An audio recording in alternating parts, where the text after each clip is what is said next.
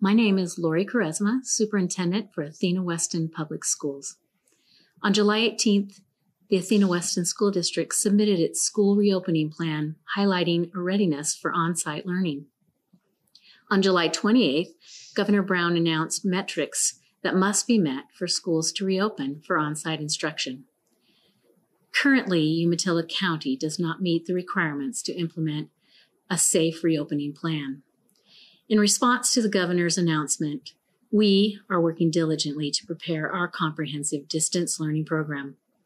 Fortunately, we've been preparing for this option with purpose and intention versus reacting to the quick pivot that we experienced in March. Our comprehensive online program will begin on August 31st. During the first week of online learning, each child and parent will have a scheduled distance learning orientation conference with teachers. This will facilitate greater understanding of the instructional model and expectations to ensure student success. Our mission is to support our students and remain connected as a school community. For this reason, it is critically important that Athena Weston students are educated by Athena Weston staff. We are Tiger Scots, and together we will maintain a quality education for our kids.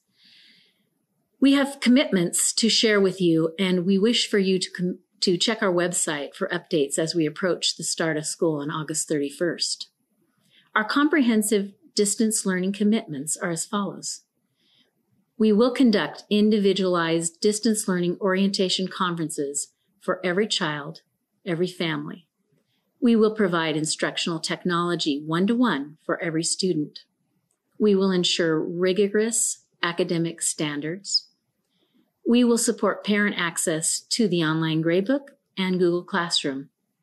This is to help them monitor their child's progress. We will provide nutrition services for families. We will build time into teacher and administrator schedules to facilitate clear and consistent timelines so that we can communicate with our families.